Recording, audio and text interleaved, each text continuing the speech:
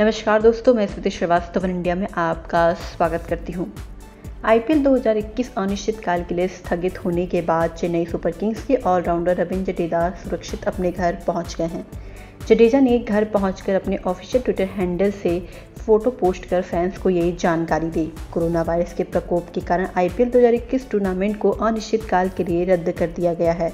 BCCI ने सभी खिलाड़ियों को टूर्नामेंट रद्द होने के बाद घर जाने की अनुमति दी है। इसलिए सभी खिलाड़ी धीरे धीरे अपने घरों में पहुँच चुके हैं। भारत के ऑलराउंडर और आईपीएल 2021 में चेन्नई सुपर किंग्स का हिस्सा बने रविंद्र जडेजा घर आ गए हैं।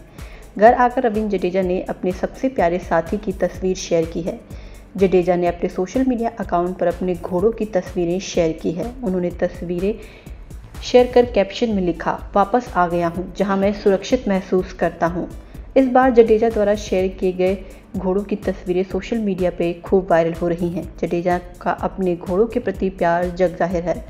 उन्होंने पहले भी कई बार अपने घोड़ों की तस्वीरें और वीडियो शेयर किए हैं।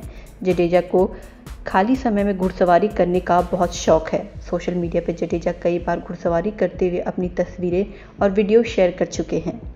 बता दें, इसी बीच आईपीएल 2021 में जडेजा के प्रदर्शन को देखते हुए उन्होंने अपने हरफन मौला खेल से सभी को अपना प्रशंसक बना लिया है। विशेषकर रॉयल चैलेंजर बेंगलोर मैच में हर्षद पटेल के खिलाफ जडेजा की सैंतीस रन की पारी क्रिकेट जगत की चर्चा थी। आईपीएल 2021 के रद्द होने के बावजूद सभी क्रिकेट फैंस जडेजा के इंग्लैंड में होने वाली आगामी विश्व टेस्ट चैंपियनशिप के साथ साथ इंग्लैंड के खिलाफ टेस्ट सीरीज़ में भी ऐसे ही करने की उम्मीद करेंगे।